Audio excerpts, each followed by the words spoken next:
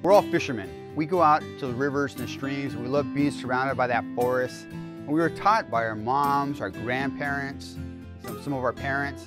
We just like that whole environment. But what's important to us is being able to pass that legacy down to multiple generations. Our concept is actually based off of this pipe right here.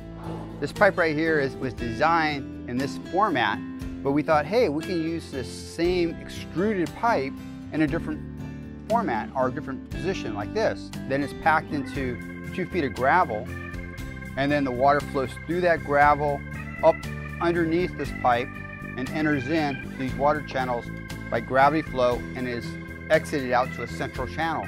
We try to cut out as much of the, the mechanical aspects to it as possible.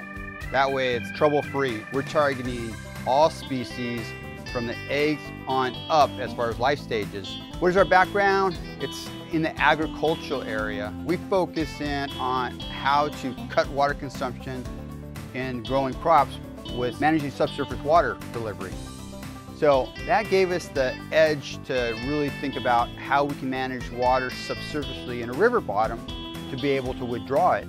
In most cases, we're trying to push water into it, but we still have that skill set in being able to withdraw. We're basically mimicking nature as many ways as possible to come up with creative solutions for the long term. We come from a group of individuals that have been together for about three years now.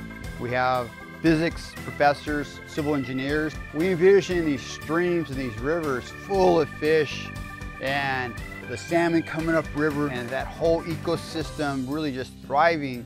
And right next to that, you see hydroelectric dams or agricultural production going on. That whole interweb working together in a holistic environment, that would be really fantastic knowing that we help accomplish that.